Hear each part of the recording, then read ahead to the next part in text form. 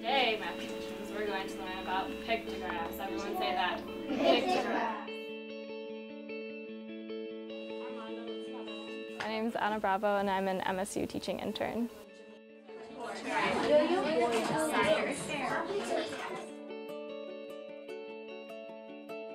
When I first arrived at MSU, financially I needed a lot of help. Second semester, I got two different jobs. I started working at Munn Ice Arena and then in the College Med in the Student Affairs office.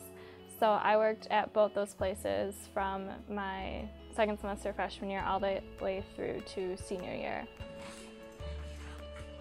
Alright, Logan, how are you guys collecting your data? Knowing that there was a full year internship, I knew that I'd be very prepared coming out of it. The financial aspect with having a full year is it's very difficult to work. I got two scholarships for this year, so I don't really have much debt coming out of my internship year compared to undergraduate, especially when I first started.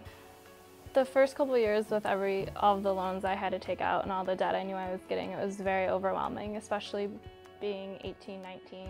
Having the scholarship money helps with focusing more on my school and the classroom and not being so focused on paying bills and making sure I have enough money in the bank. I couldn't do everything that I wanted to. I couldn't be a part of certain cohorts or take certain classes because I didn't have enough, but now this year I'm able to do more than I expected. I'm able to be in a classroom, I'm still able to take both classes that I need and still able to have time to myself and be with my family and friends doing things that I enjoy doing. Show me. Which way does the x-axis go? This way, right? Which way does the y-axis go? Personally, knowing that people are willing to donate and want to help further other students' education means a lot.